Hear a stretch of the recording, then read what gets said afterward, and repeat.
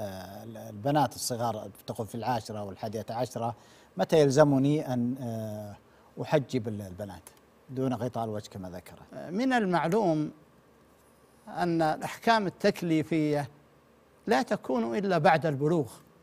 الإنسان قبل البلوغ لا يكلف ومن ثم لا يقال بأنه آه، يجب عليه كذا أو لا يجب عليه كذا ويسأل ولي أمره لكن تعويد الأولاد منذ الصغر أولادا كانوا يعني رجال أبناء كانوا أو بنات تعويدهم على الالتزام بالأمور الشرعية أمر مطلوب.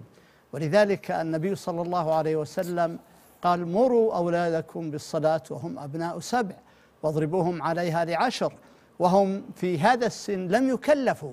لكن أمر النبي صلى الله عليه وسلم بأمرهم بل وبضربهم في العاشرة على ترك الصلاة من باب تعويدهم.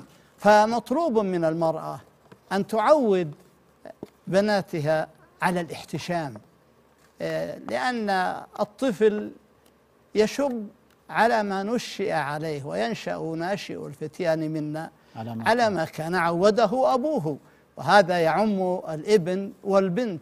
فجميل أن تعنى المرأة بتأديب بناتها وتوجيههن إلى الاحتشام منذ الصغر حتى يكون ذلك خلقا من أخلاقهن وسجية من سجاياهن. بارك الله فيكم وأحسن إليكم.